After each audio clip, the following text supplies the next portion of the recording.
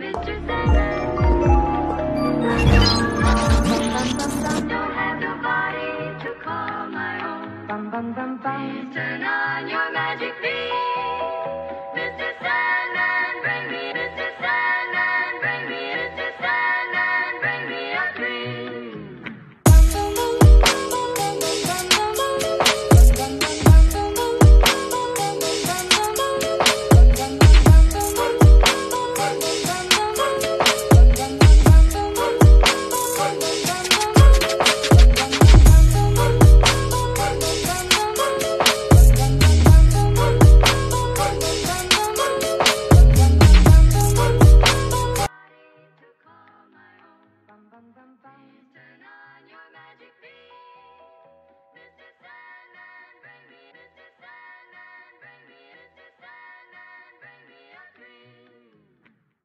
Chapter 1 The Future is Virtual.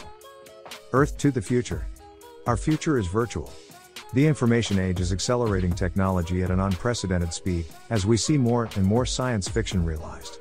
Already today, many of us live half online, and with every passing year, the fantastic sci fi metaverses of Ready Player One and Snow Crash seem less far fetched. There's a long road ahead of us, as a new virtual future slowly becomes nonfiction, but it may not be as long as many think. Earth 2 believes that carving out the foundations of this world may be one of the most important ongoing technical developments of the next decade, and beyond. Earth 2 aims to bring people and technologies together by creating a robust location based games and technologies platform, which supports strong virtual communities and economies. Earth 2 will be about people and the virtual representations of places which bring them together. For this reason, we believe it's critical to be transparent about our goals, plans, and approach with our community and followers from an early stage. Buying virtual land in Earth 2 can instantly offer you numerous income revenues starting from today and into the future. Most of this potential income is passive, meaning your land can work for you without you needing to do anything. The value of your land will fluctuate as more people purchase and trade land in the same country. In addition to this, your land can earn residual income based on future purchases inside that country, and you can also earn an additional 5% by sharing your promo code with others. Chapter 2 What type of investor should I be? Getting started in the business of investing is much easier than it used to be. So is improving your returns if you already invest. No longer is the field restricted to the wealthy or large financial institutions. More and more these days, everyday people like moms, dads, students, and even children are trying their hand at what used to be the exclusive playground of the rich. However, before delving into what is a very exciting and potentially financially rewarding world, you should assess what type of investor you actually want to be. In the years that I have been investing, I have seen people who haven't answered this question come and go, and lately I've seen it happen with alarming frequency. Think about it for a second. Have you really thought about what you need to do to start creating wealth for you and your family? If not, you need to seriously consider what type of investment style would be best for your position. Types of investors. The next thing you need to look at is what sort of analysis you want to conduct on the land that you are considering. Generally, there are two schools of thought, one being fundamental and the other technical.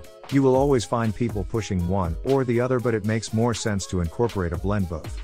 Fundamentalists tend to look at tile profits, resources that might be discovered, future plans, and high traffic locations. While those with a mathematical or scientific background might look at tile price charts employing various technical analysis techniques, ratios, indicators, and trends in order to identify which tiles they want to look at further.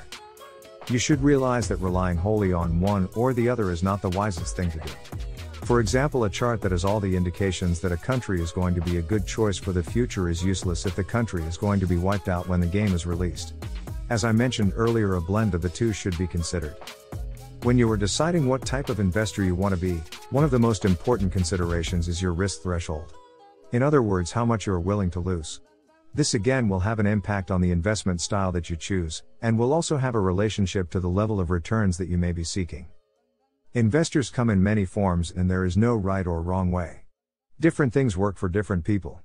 It is vital that you decide which method best suits you and that you stick to this method. Chapter 3 Tips Tricks to Investing in Property. Property investment has a lot of potential benefits, and it can help you build up a substantial wealth, in time, of course. However, property investing has some risks, and no one can guarantee that everything will go okay and that the money will build up. Less risky than shares, virtual property investment attracts many people and has two major benefits the income tax revenue and the capital growth. Property income tax is tax you receive as credits from land purchased in the country you own land. Capital growth represents the money made from the value of your properties. This is not guaranteed, because you have no guarantees that the value of a property will raise. If you plan on starting to do some property investing, you don't have to start by investing in a place where you also live in. You can, for example, buy and land anywhere in the world. Please note that some countries are unavailable for purchase at the moment due to religious reasons. One of the first things you must consider after you've decided to perform a property investment is where to buy. It is recommended that you try to buy in a busy area that provides everything like high traffic and resources. A risk in property investment is that the value of the property you bought may decrease, and you may be forced to sell the property quickly, so consider this when buying and try to pick an area where you know you can always sell the property with no efforts. And the last advice about buying and selling a property is that before doing the property investment, you can Google a little about the history of the land, if there are resources, if there are landmarks or high traffic. Here is a tip I have been flipping land that I purchased based on the interest in that area by buying tiles around an owner's land. In Earth 2, there is land that have sentimental value because of a place they grew up, got married, real world property, etc. I have had success flipping property using this strategy alone. These are the basic things you should know about property investing if you want to start investing into property. How would you like to flip land in your sleep and wake up to emails like this? Chapter 4 Most people's beliefs about investing are very tenuous. There are, of course, people who are very passionate about investing. They don't view investing as some esoteric subject, but rather as a field intimately connected to the human behavior they observe in their everyday lives. For everyone else, however, beliefs about investing come in the form of passive knowledge. The tendency is simply to accumulate an inventory of conventional dictums. Investing beliefs are formed much the way a student prepares for a test. If the subject of investing were as simple as a third grade spelling bee, this wouldn't be a problem. But, investing is a far more complex subject. That isn't to say it is necessarily a difficult subject. For some, it is relatively easy. But, it is never simple. An investor cannot analyze relationships with the certitude and precision a physicist can. The investor is concerned with human phenomena, which are necessarily complex phenomena. The complexity of the subject is what makes it appear so difficult. While you can develop a set of guiding principles, it is impossible to devise rules that will lead you to the best course of action in each and every case. If you try to build an intellectual edifice based on principles such as high returns on equity, strong consumer franchises, low price to earnings ratios, low enterprise value to EBIT ratios, high free cash flow margins, and rock solid balance sheets, you will fail. The entire structure will collapse, leaving the architect disillusioned. Why? Because the items listed above are desirable attributes, nothing more and nothing less. They are not true principles. Even as rules of thumb, they are badly flawed. Ultimately, investment decisions are not made about general classes, they are made about special cases. Every investment decision requires good judgment and sound reasoning. You need to start with the correct principles. But, principles alone are not enough. You aren't being asked what the law is, you're being told to apply the law to the case before you. This is where a lot of people start to feel overwhelmed. Having learned that investing is not simply a matter of running down a checklist, they don't know where to begin. The answer is to start with what you know best. Begin with your most strongly held beliefs. Subject them to honest scrutiny. Then, and only then, apply them to the case at hand. Do you believe the concept of intrinsic value is a valid one? Do you believe it is a useful model? If so, then begin there. What does the concept of intrinsic value really mean? What conclusions follow from this belief? In the case of intrinsic value, the most difficult conclusion you'll have to grapple with is the idea that you can pay too much for a great business. For some, this is a relatively simple conflict to resolve. For whatever reason, they prefer cheap merchandise to quality merchandise. For others, the conflict between intrinsic value and investing in great businesses is painfully difficult to resolve. But, if you are ever going to have confidence in your judgments, you have to be willing to submit your investment beliefs to honest scrutiny. You have to be your own prosecutor. You have to present the evidence against your thesis. If you aren't willing to do that, you'll end up questioning the investment beliefs you do hold every time you underperform the market. Many proven investment techniques have lagged the market over short periods of time. Occasionally, the performance gap has been very wide. Regardless of whether you adopt a primarily qualitative or primarily quantitative approach to investing, this short term underperformance is unavoidable. It's avoidable in the sense that a good investor can get lucky and not suffer a down year for a decade or so. Likewise, it's possible to outperform an index year after year, if you're lucky. But, it isn't possible to adopt a strategy that guarantees such outperformance. The best you can do is adopt a strategy that offers the right odds.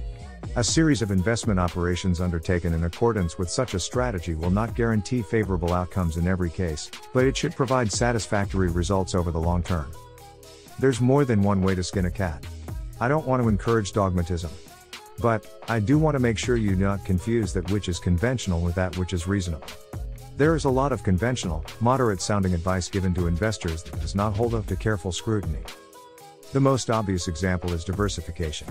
Making a series of bets on separate high probability events is an excellent idea. Diversifying across several different asset classes and hundreds of securities is something entirely different. Even if there are hundreds or thousands of excellent investment opportunities, it does not follow that an investor ought to make every reasonable bet. After all, some will appear to be more reasonable than others.